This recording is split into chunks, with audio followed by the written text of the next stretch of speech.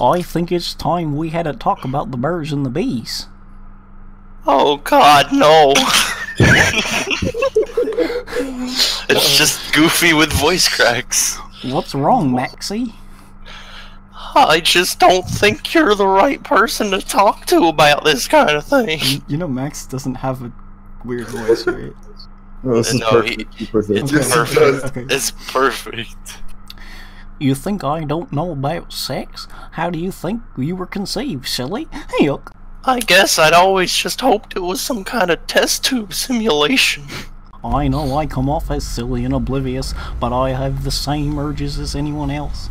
These primal animal cravings have persisted long after your mother's passing, and to this day I yearn for the next opportunity to take pleasure in the carnal union of flesh.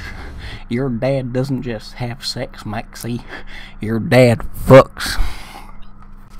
Heck, one time a condom snapped off my ding dong so hard it bounced around the room and landed on the back of my throat. Yuck. I'm never going to have sex as long as I live. That's all I ask.